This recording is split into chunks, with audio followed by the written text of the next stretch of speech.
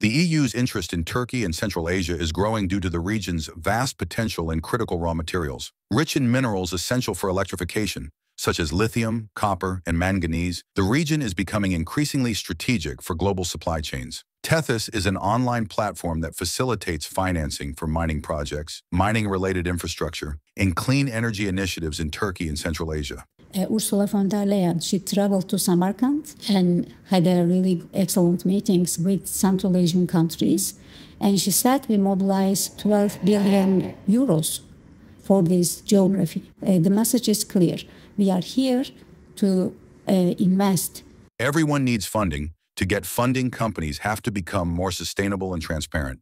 But it is not enough to say we declared our commitment to IRMA standard. We have to demonstrate it.